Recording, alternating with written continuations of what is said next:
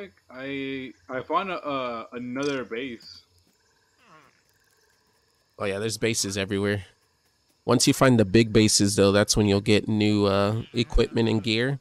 And sometimes they have a cache of materials. There's a base in the bushes, pretty high.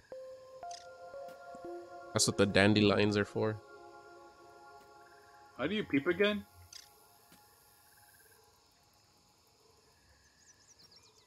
Do you what? Slime mode torch. Oh, I don't How do you remember. peep, like when you use your binoculars. Uh, don't really remember.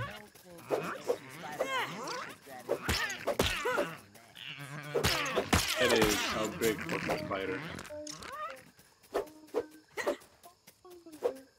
These weevils are glitching.